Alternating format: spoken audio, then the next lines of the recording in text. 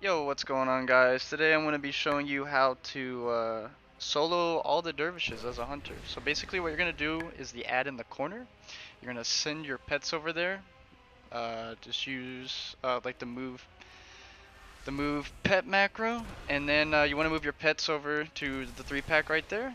Uh, make sure you're MDing to your pets.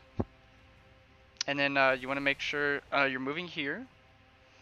And you want to make sure you're always always fucking far enough away from these ads. Because on higher keys the lightning shock is a 2-3 shot. And basically if you want to make sure you get this down right just take it slow the first time. And uh, just make sure uh, they all get stacked up together and you take no damage. So basically right here I'm MDing the ones upstairs. You want to range over here near the rock and then you want to feign death. You want to wait until they teleport and then you res up.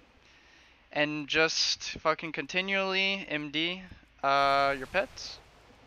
Uh, right now I'm just strafing my pets over just to show y'all like how they're stacked and stuff like that. Um, I was strafing earlier as well because uh, pretty much if I don't strafe my pets they're gonna kill it before I get them all stacked because I am testing on an M0 so uh, they'll definitely die. But um yeah I found this strat out. It's easy. You take zero damage and you don't have to use any defensives. Thank you for watching, guys.